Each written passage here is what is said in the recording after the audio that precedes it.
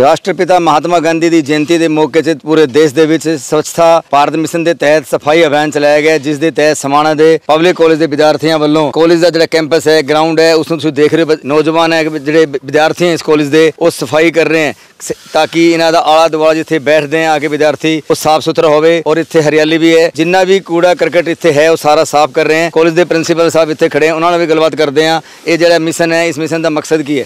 ਹਾਂ ਡਾਕਟਰ ਸਾਹਿਬ, ਇਸ ਦਾ ਕੀ ਮਕਸਦ ਹੈ ਜਿਹੜਾ ਇਹ ਅੱਜ ਆਪਾਂ ਕਰ ਰਹੇ ਹਾਂ? ਭਾਰਤ ਸਰਕਾਰ ਵੱਲੋਂ ਸਵੱਛਤਾ ਅਭਿਆਨ ਮੁਹਿੰਮ ਚਲਾਈ ਜਾ ਰਹੀ ਹੈ। ਉਹਦੇ ਤਹਿਤ ਹੀ ਪੰਜਾਬ ਦੀ ਉਚੇਰੀ ਸਿੱਖਿਆ ਵਿਭਾਗ ਵੱਲੋਂ ਸਾਨੂੰ ਇਹ ਆਦੇਸ਼ ਹੋਏ ਨੇ ਵੀ ਆਪਦੇ ਕੈਂਪਸ ਨੂੰ ਸਾਫ਼ ਸੁਥਰਾ ਰੱਖਿਆ ਜਾਵੇ। ਅੱਜ ਅਸੀਂ ਮਹਾਤਮਾ ਗਾਂਧੀ ਜੀ ਦੇ ਜਨਮ ਦਿਨ ਦੇ ਉਪਲਬਧ ਤੇ ਅਸੀਂ ਸਾਰੇ ਕਾਲਜ ਦੇ ਵਿਦਿਆਰਥੀ, ਸਮੂਹ staff NCC NSS red ribbon club ਦੇ ਬੱਚੇ ਸਾਰੇ ਇਸ ਮੁਹਿੰਮ ਦਾ ਹਿੱਸਾ ਬਣੇ ਨੇ। ਕਿੰਨੇ ਵਿਦਿਆਰਥੀ ਇਸ ਅਭਿਆਨ 'ਤੇ ਲੱਗੇ ਆ ਅੱਜ? ਇਹ ਕਰੀਬ ਕਰੀਬ ਹਜ਼ਾਰ ਦੇ ਕਰੀਬ ਵਿਦਿਆਰਥੀ ਸਾਡੇ ਆਇਆ ਹੋਇਆ। ਤੇ ਇਹਨਾਂ ਨੇ ਪੋਸਟਰ ਮੇਕਿੰਗ ਡਿਬੇਟ ਤੇ ਸਵੱਛਤਾ ਅਭਿਆਨ ਆ ਸਾਫ਼ ਸਫ਼ਾਈ ਇਹ ਸਾਰਾ ਕੰਮ ਇਹਨਾਂ ਬੱਚਿਆਂ ਦੇ ਸਿਰ ਤੇ ਹੋਣਾ। ਕਲਾਸਰੂਮ ਤੋਂ ਲੈ ਕੇ ਕੰਟੀਨ ਦੀ ਸਫ਼ਾਈ ਸਾਰੀ ਸਫ਼ਾਈ ਅੱਜ ਇਹ ਬੱਚੇ ਸਾਡੇ ਸਫ਼ਾਈ ਕਰਮਚਾਰੀਆਂ ਦੇ ਨਾਲ ਸਹਿਯੋਗ ਦਿੰਦੇ ਹੋਏ ਸਫ਼ਾਈ ਕਰਾਉਣਗੇ।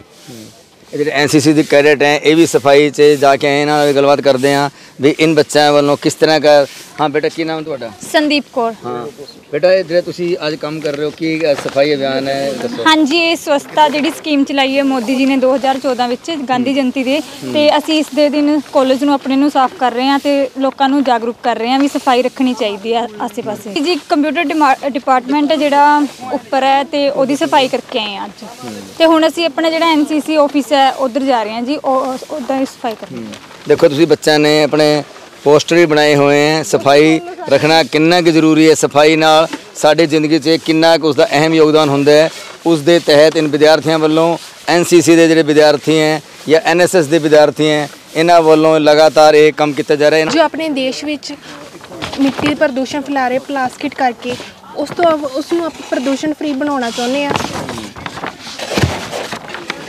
ਸਰ, ਇਹਦੇ ਵਿੱਚ ਸਰ ਪੋਲੋਥੀਨ ਹੈ ਜੋ ਆਪਾਂ ਜੋ ਆਲੇ ਦੁਆਲੇ ਆਪਣੀ ਪਲਾਸਟਿਕ ਹੈ ਉਸ ਨੂੰ ਆਪਾਂ ਇੱਕ ਇਕੱਠਾ ਕਰਕੇ ਆਪਾਂ ਆਪਣੀ ਜਿਹੜੀ ਸੋਇਲ ਹੈ ਉਸ ਨੂੰ ਬਚਾਉਣਾ ਚਾਹੁੰਦੇ ਆ ਤਾਂ ਜੋ ਇਸ ਦੇ ਨਾਲ ਸੋਇਲ ਪ੍ਰਦੂਸ਼ਣ ਨਾ ਹੋ ਸਕੇ। ਸਾਨੂੰ ਜਿਹੜੇ ਪਲਾਸਟਿਕ ਹੈ ਜਿਹੜੀ ਉਹ ਯੂਜ਼ ਕਰਨਾ ਬੰਦ ਕਰ ਦੇਣਾ ਚਾਹੀਦਾ ਹੈਗਾ ਕਿਉਂਕਿ ਉਹ ਹੈ ਜਿਹੜਾ ਆਪਾਂ ਜ਼ਮੀਨ 'ਚ ਦੱਬ ਦਿੰਨੇ ਆ ਉਹਦੇ ਕਰਕੇ ਜਿਹੜੀ ਜ਼ਮੀਨ ਹੈ ਬੰਜਰ ਹੋ ਜਾਂਦੀ ਉਹਦੇ ਉੱਤੇ ਕੁਝ ਵੀ ਨਹੀਂ ਰਹਿੰਦਾ ਹੈਗਾ। ਉਹ ਜਿਹੜਾ ਪਲਾਸਟਿਕ ਹੈ ਉਹ ਸਿੱਧਾ ਇਕੱਠਾ ਹੋ ਕੇ ਜਿਹੜਾ ਸਾਡੇ ਸਮੁੰਦਰ ਵਗੈਰਾ 'ਚ ਜਾਂਦਾ, ਉੱਥੇ ਵੀ ਜਿਹੜੇ ਜਾਨਵਰ ਨੇ, ਮੱਛੀ ਵਗੈਰਾ ਨੇ, ਉਹਨਾਂ ਦਾ ਜਿਹੜਾ ਜੀਵਨ ਹੈ ਉਹ ਸੰਕਟ 'ਚ ਪੈਂਦਾ, ਉਹ ਵੀ ਮਤਲਬ ਆਉਣ ਵਾਲੇ ਜੇਕਰ ਆਪਾਂ ਗੱਲ ਕਰੀਏ ਤਾਂ 2050 ਤੱਕ ਜੇਕਰ ਪਲਾਸਟਿਕ ਬੰਦ ਨਾ ਹੋਈ, ਤਾਂ ਜਿਹੜੇ ਸਾਰੇ ਸਮੁੰਦਰ 'ਚ ਜਿਹੜੇ ਜੀਵ ਰਹਿੰਦੇ ਨੇ, ਉਹਨਾਂ ਦਾ ਜਿਹੜਾ ਜੀਵਨ ਹੈ, ਉਹ ਖਤਮ ਹੋ ਜਾਊਗਾ, ਉਹਨਾਂ ਦੇ ਜੀਵਨ ਜਿਹੜੇ ਸੰਕਟ ਚੱਲ ਰਿਹਾ ਠੀਕ ਹੈ।